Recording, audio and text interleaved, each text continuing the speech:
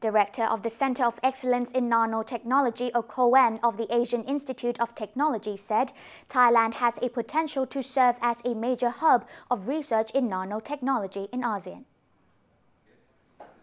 Speaking at the nanotechnology portfolio release, COEN Director Professor Joydeep Dutta said Thailand has a competitive edge in nanotechnology research as Thailand has 10 years of experience and has support from the government.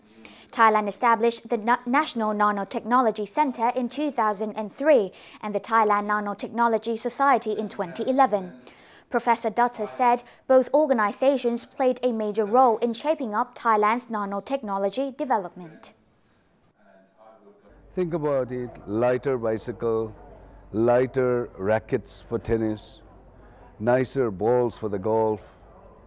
These are consumer products which are already being used.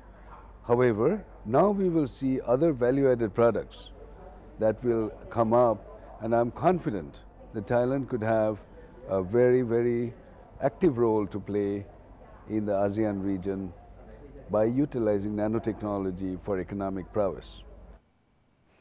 The portfolio released yesterday showcased 16 products developed at AIT in the past five years, which range from handheld solar water purifiers to gas sensors to nanoparticle inkjet printer. Of the 16 products, four patents were applied, while seven other technologies were successfully demonstrated. The rest of the products were completed and ready for market release. The only way Thailand can develop in the future is through value addition in its products and processes. So industries have to embrace new technologies in order to survive, become economically viable, and also to compete with the ASEAN and the world as at large. The portfolio released yesterday was held to mark the fifth anniversary of COEN as well as the 52nd anniversary of the Asian Institute of Technology or AIT.